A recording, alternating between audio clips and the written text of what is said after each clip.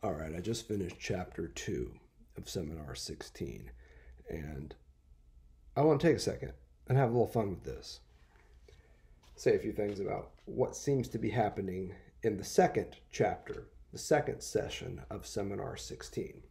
It doesn't mean what we're going to say here is definitive. It means that we're reading this seminar page by page, session by session. And here are some things that I took away from the second session of this pivotal seminar, Seminar 16.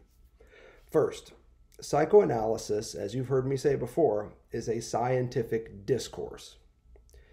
It's valid, correct, rigorous, transmissible, conceptually clear, and coherent. And here Lacan is saying that the discourse of psychoanalysis is especially clear and coherent about two things namely, the cause and the effect of discourse itself. I'm on pages two and three here of the chapter. Here, Lacan is primarily concerned with the effects, or what he calls the consequences, of discourse. And these consequences are worth talking about, he says, for many reasons, one of which is that they can be rather obscure. Page 5 what I'm doing here is I'm reading along and pulling out terms and wherever possible attaching page numbers so you can then go find those phrases if you want to. Okay, let's talk about these effects or these consequences. Um, we'll come to the cause of discourse in a moment. Uh, first and foremost, these um, uh, effects of discourse um, have an effect on structure which on pages two to four and on page five, too, you hear Lacan saying that this structure is real. And that is very important as a move that he's making here. Structure is something real. Hold that thought.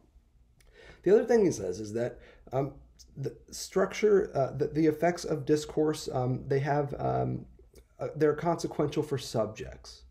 He says this on page five.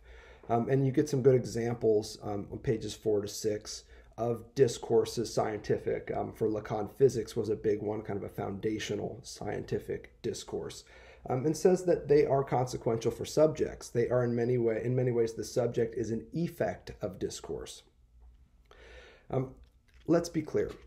The effect of discourse on the subject is authoritative. It conditions the subject preceding the agent of its own pronouncement and transmission.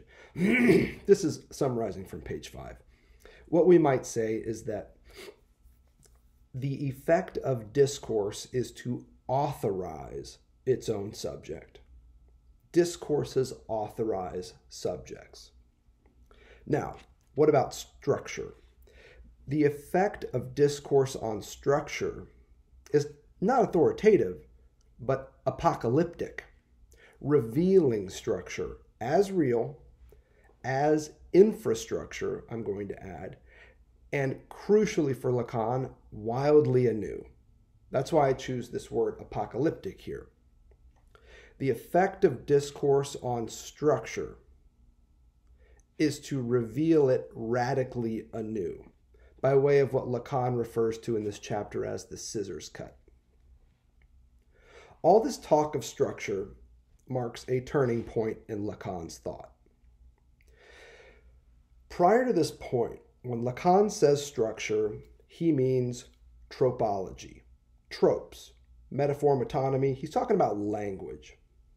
Even to say that uh, the unconscious is structured like a language, I mean, it's kind of redundant because structure is language at that point in Lacan's thought. Structure for Lacan early on is something symbolic. Um, here we see something different an understanding of structure that's not about tropology, but topology. An understanding of structure that shifts from language to materiality an understanding of structure very explicitly here that is shifting from the field of the symbolic to that of the real. Note some of the moves Lacan is making. Earlier in his career, structure as language, as tropology, connected to the symbolic. It was all about metaphor. Metonymy too, but metaphor for Lacan is the biggie. Here, Lacan states again and again in chapter 2, seminar 16, that this is not a metaphor. He reiterates time and again that he is not speaking in metaphors here. There's nothing metaphorical about what he's saying. This ain't about metaphors. Feel me? Now, what we know about Lacan's theory of language is that it's built on that of Saussure in how it thinks about language as a differential system of signifiers.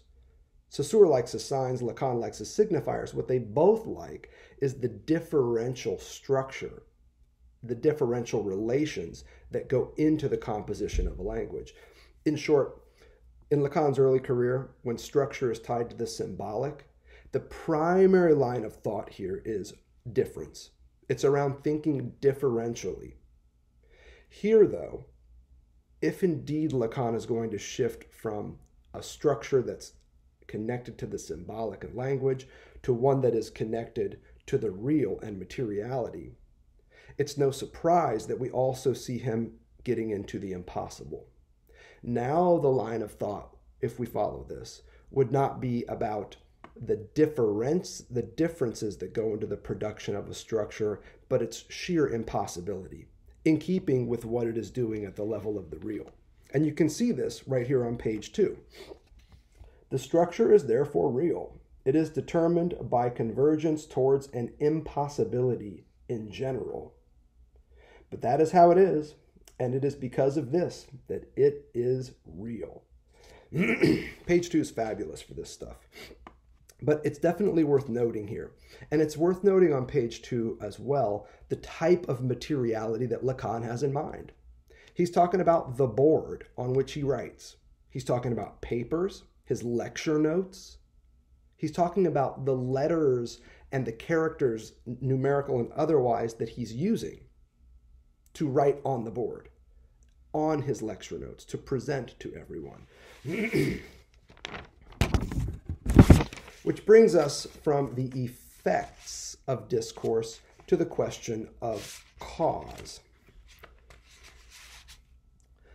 Language use as a kind of saying, which is an expression Lacan uses in chapter 2 here, it aims at this cause.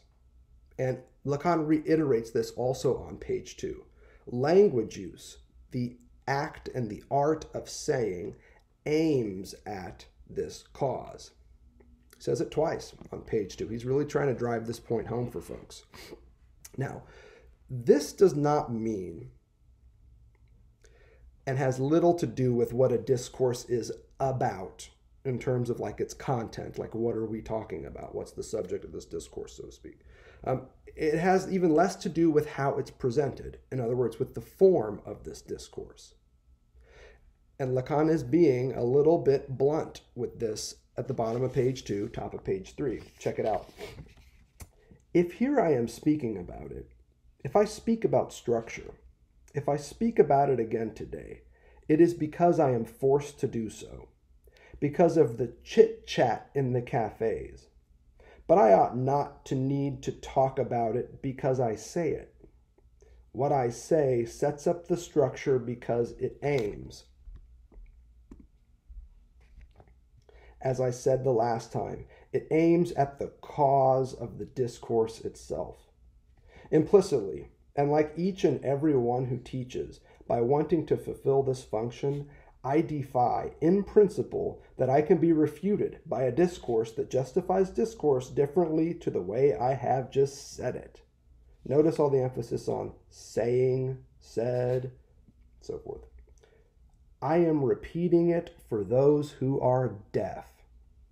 Namely, what it aims at is the cause of discourse itself.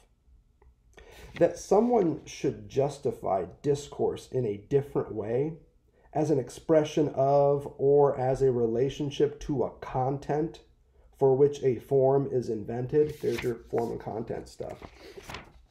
Lacan says, well, that's up to him.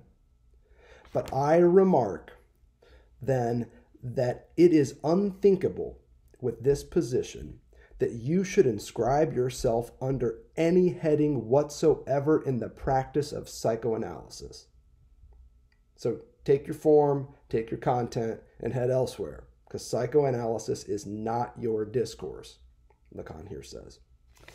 I mean, even not as charlatanism. You should understand that the question is whether the psychoanalysis I am indicating here exists.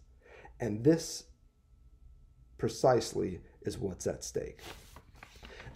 This is an interesting move, this last part. Forget about, you know, he's taking a shit on these people who want to, you know, play at, at psychoanalysis with their forms and their contents, instead of dealing with what psychoanalysis really deals with, which is cause. That's what we learned from seminars 10 forward, basically is that the object of inquiry in psychoanalytic thought is cause. And we know about cause. The cause that psychoanalysis investigates is not some entity in the world, it's not an object, it's an opening. It's not a being, it's the field and the function of non being. That's the type of cause the buzzword for this we might use is lack. That is the cause that psychoanalysis studies. But here, all that aside, what Lacan is getting at is does this shit exist? Does a discourse of this type, which he refers to as psychoanalytic, does it even exist? Now, if you flip back on page two, you see existence popping up again. He says, either what we are talking about has no kind of existence, or if the subject has one, I mean as we are articulating it, well, then it is exactly constructed like that. Namely, it is constructed like these things that I wrote on the board, on the paper I use. So, if psychoana- psychoanalysis as a discourse on the cause and effects of discourse itself actually exists, it exists just as it's being presented by Lacan here, he says, with the things he writes on the board and on the paper that he uses to do so.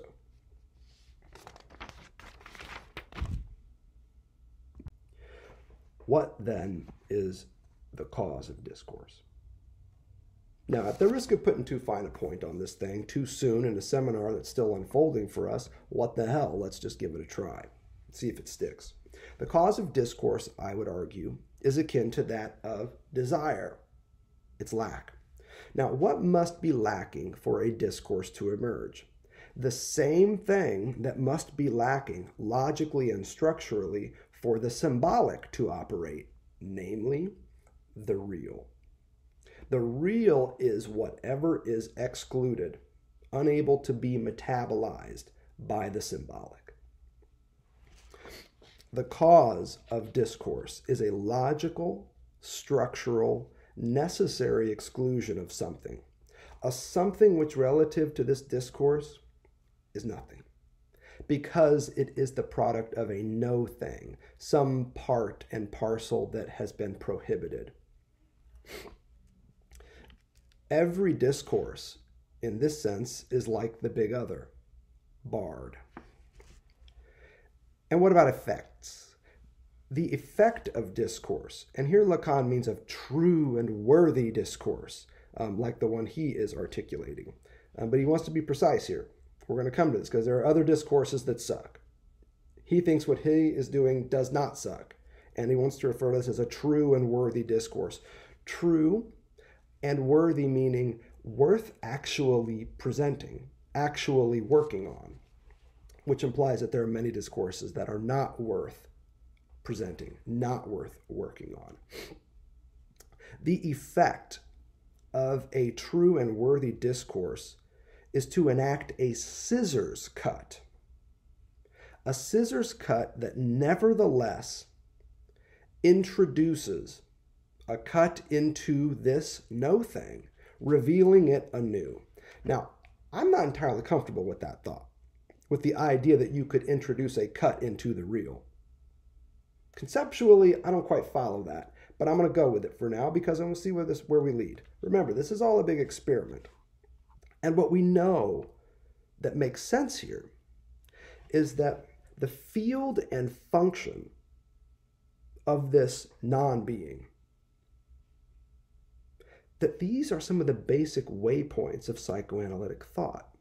Remember, it's a meontology from the Greek meon, meaning non being. It's a study of things that don't technically exist, non being. The discourse of psychoanalysis is a discourse on, and in order to avoid the kind of aboutness slip, I want to say that it is an inquiry into. I think that's a better way to think about this. Psychoanalytic thought is an inquiry into, and I quote Lacan, the real in which discourse itself has consequences.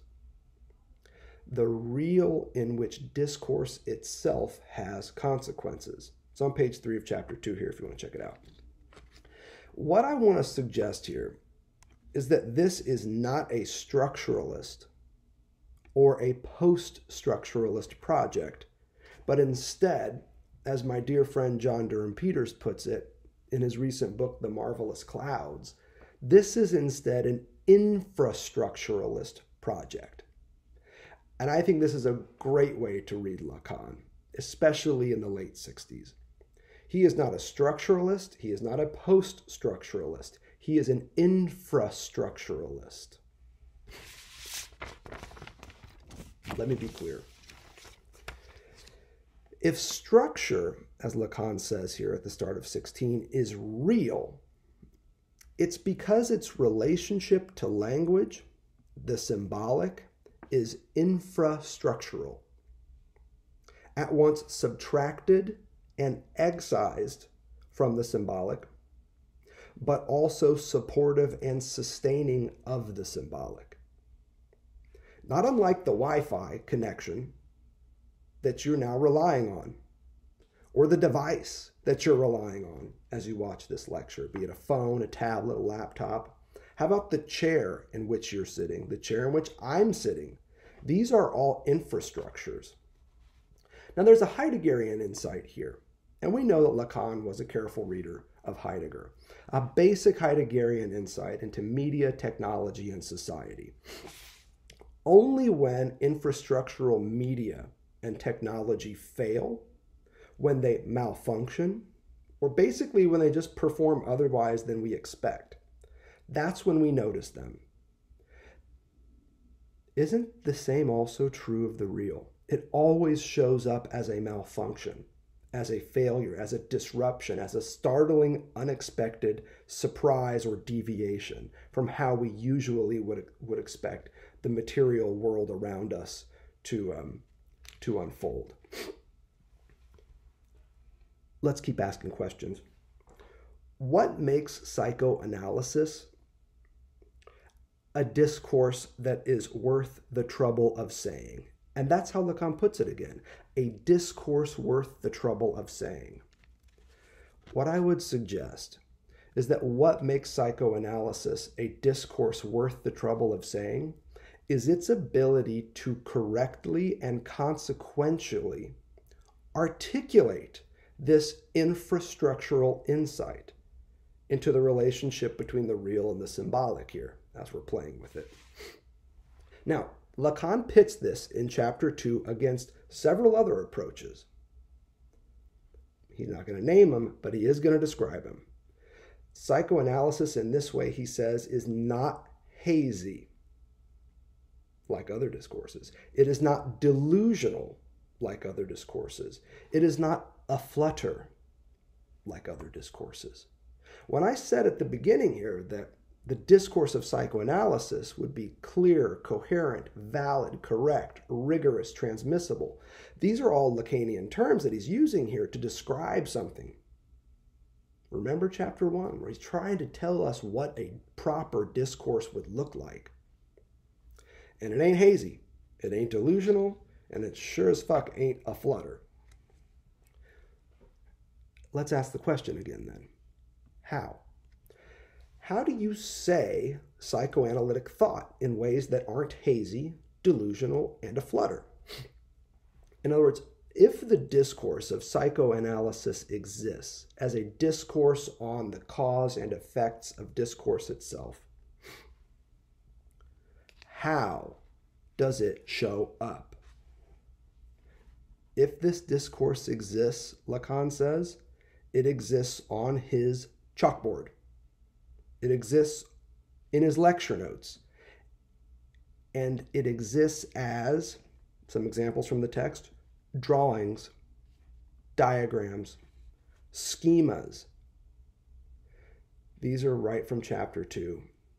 Now, if you've got ears to hear, what Lacan is trying to get at is a discourse without words. Remember the epigraph to seminar 16 drawings, diagrams, schemas. Are these words? Words could be involved, but it's not the same. He's working towards something here. Here, at the start of 16, the word for these non words and the language that they constitute is, wait for it, logic. It's logic. Lacan says as much on page six. And not just any logic, it's mathematical logic. Now, what he wants to talk about here, it looks like it's kind of like an intellectual history of logic, where mathematicians suddenly discover Aristotelian logic. But logic is what he's after. Logic, Lacan tells us, is something that is detached in language, not from language, but in language, he specifies. He even describes it as a paralanguage. Logic is a paralanguage of sorts. Now, what's at stake here? Logic is not a meta language. It's not something apart from, above, beyond language. It's a type of language, a way of speaking that has been detached and now roams through language. Paralinguistically, from the Greek para meaning alongside, but also occasionally against. Crucially, this is going to be a language, a detachment that has specific consequences for what Lacan says is your existence as a subject on page 7.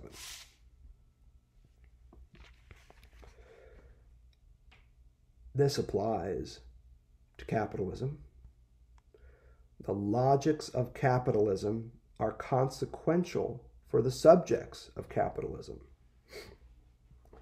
This also applies to the university. Logics of knowledge are consequential for subjects of its marketplace, higher education, the university, academic culture, call it what you will. At stake here, Lacan tells us, is knowledge. Knowledge is what's at stake here, Lacan says on page 10. And not just in its junction with truth, without which, Lacan says, it is difficult to speak about anything whatsoever in psychoanalysis. It's right here on page 9. Knowledge with, in its junction with truth, without which, Lacan's saying it's tough to talk about anything in this discourse known as psychoanalysis without this knowledge truth junction. You've heard us comment on this before. You've read it elsewhere in Lacan and the back of the Écrits. Let's see what we can do with it here. What the fuck does knowledge have to do with all this? And whatever happened to surplus jouissance? Knowledge, Lacan says, towards the end of chapter 2 here in Seminar 16, he calls it the price of the renunciation of enjoyment. On page 10, it's a very odd phrase. The price of the renunciation of enjoyment is knowledge. Now, what this means, if we're playing with the idea of value in Marxian thought, here exchange value, is that knowledge can be exchanged for enjoyment, and vice versa we exchange enjoyment for knowledge. More precisely, the renunciation of jouissance, of enjoyment that Lacan is here working on, he tells us that this is also the beginning or the condition of knowledge. The renunciation of jouissance marks the condition of possibility for something like knowledge. Now, all of this is in keeping with Lacan's basic theory of symbolic alienation, of castration. There's nothing new here at that level. The real must be excluded from the symbolic for there to be a symbolic. Fine, fair enough. What matters here, what's new here, is what Lacan's working towards at the level of the university. If knowledge can be exchanged in a marketplace, a marketplace of knowledge, knowledge is a kind of merchandise, Lacan says on page 11. What else do we mean by the marketplace of ideas? Lacan would say. This is the university. The university is a marketplace in which knowledge becomes a commodity, merchandise, to be bought, sold, traded, exchanged. Now let's see if we can break this down into a couple of columns. Not because it does a great amount of justice to the subtlety of Lacan's thought, but because it helps us render it clear, coherent, and more accessible than it currently is in chapter 2 here of Seminar 16. Recall the classic split in Lacan's thought between modern science and the science of psychoanalysis. Modern science is founded on fantasies of unification. This comes up on page 11. Unification as a theme comes up. The modern fantasy of science is a unified theory of X, Y, Z, and so on. The science of psychoanalysis is founded on the understanding of unification as impossible. There is no universe of discourse, don't forget. In modern science, knowledge is reduced to a marketplace in which every knowing is an object or a commodity that has an exchange value. The words Lacan uses for this is a kind of homogenization, he says on page 12 the emergence of a collective and thus totally inane truth or set of truths that don't even qualify as the type of truth he's interested in. At issue here is the transformation of knowledge, we might say, into ideology. Not just a collection of commodities to be bought and sold, but an ideological apparatus. And the university is the place where this occurs. Not so in the science of psychoanalysis. Psychoanalysis is not about knowledge, it's about discourse. A discourse without words, in particular, one that is silent, dumb, stupid, mute, like writing on the board, on the page, on the wall in Lacan's lecture notes. I'm, of course, cribbing here from the end of chapter 2, 13, when he starts talking about all this stuff. If the knowledge that modern science traffics in is ideological. The discourse that psychoanalysis traffics in is structural. Let's keep moving down these two columns. In modern science, Lacan says we see science coupled with capitalism. Page 10, he says they go really well together. Now, if you've got ears to hear, read this as a coupling of two of Lacan's four discourses from Seminar 17. It's the university discourse in service to the master's discourse. Now, we're not going to get into the capitalist discourse. We're just going to focus on what he's building towards here. The university in service to the master is one way to read um, uh, science in service to capitalism. On the other side, again, fast and loose, don't forget, we would see the analyst discourse in dialogue with that of the hysteric. Here, as the protester, as the May 68 striker, that at the end of chapter 2, Lacan tries to identify the discourse of psychoanalysis with. Which brings us back to that question of surplus enjoyment. Enjoyment in modern science becomes recherche. It becomes perverse. Lacan's clear on this. He's stretching it out at the end of the sem- at the end of the chapter. Surplus enjoyment, in other words, becomes something exclusive and elite in university culture. It's enjoyment of knowledge as a good, but a good that is only accessible to the elite few. Now, you might read this, if you're coming out of Foucault, as not a big breakthrough, that knowledge would be associated with capital, profit, power, and the like. Notice the Latin that Lacan uses to bring this out, the translation of which is great. Not all are admitted to Corinth. Or if you like better, um, not all are permitted or allowed to go to Corinth. Raises a question for us, a question that for now is going to remain unanswered. We'll see what happens next as we get into chapter 3. But if the surplus enjoyment that modern science affords subjects of the university is elite and exclusive, not all are admitted into Corinth. What kind of enjoyment fits on the other side in the field of psychoanalysis? Is there a surplus enjoyment that plugs in there, or is it a different type of enjoyment that we're going to be looking at? Let's see where we go from there.